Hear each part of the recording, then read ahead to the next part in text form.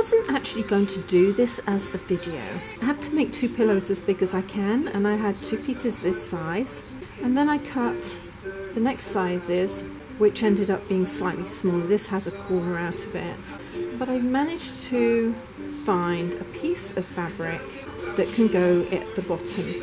Now I have the piping cut out and I'm going to put a zip in along the bottom here. So I'll show you how it's done. I made my piping up the same as usual, one and a half inches. I actually sewed it this way across instead of the other way because I wanted to follow the stripe. And I'm going to sew that in half an inch seam allowance as I always do. I've already cut in for the corner to go around, hold that up and then carry on. My machine really doesn't like this fabric very much.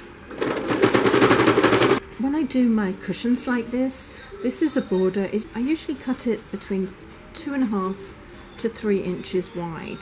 I'm going to come in about an inch from the end and fold that over. Once I've worked out where my end is and how much I'm going to fold over, I'm going to cut in at an angle like this.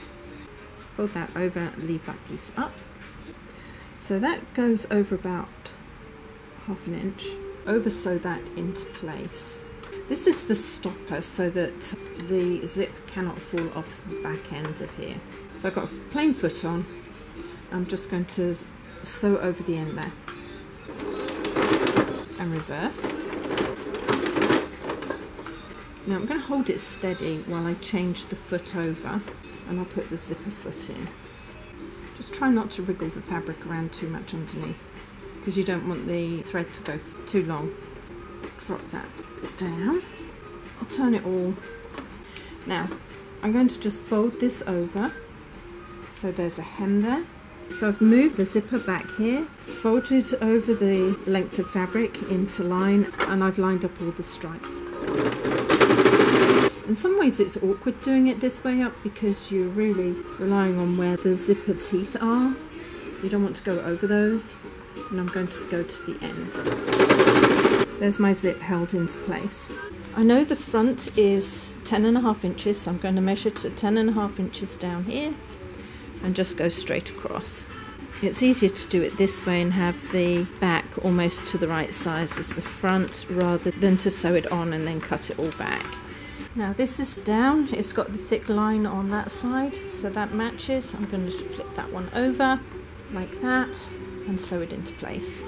Measure the top and bottom, make sure that they're equal and slide this underneath here and sew all the way around. Let's move that over one. I managed to catch it down, pop that into place. Looks like it's going to go under and down to the corner.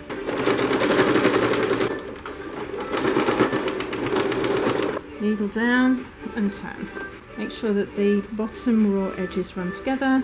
As with any other cushion, just cut the corners back just a little bit. They don't have to go too close to the seam, within quarter of an inch. Open the zip up and then turn it the right way round. Now the reason why I put piping on is because I couldn't match the stripes at the front and the back so by doing that you kind of knock the eye and it doesn't see that they don't match because when you look at it from the front that's all you're going to see is the piping at the top. In the front they're matching, on the backs they match top and bottom but not to each other and that's fine nobody will ever notice.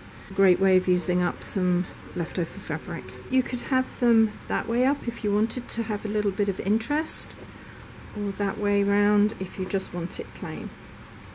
And to be honest, you don't even have to have all of this in the same colour. You could have something else under there if you wanted to. Make a feature of the fact that you don't have matching fabric.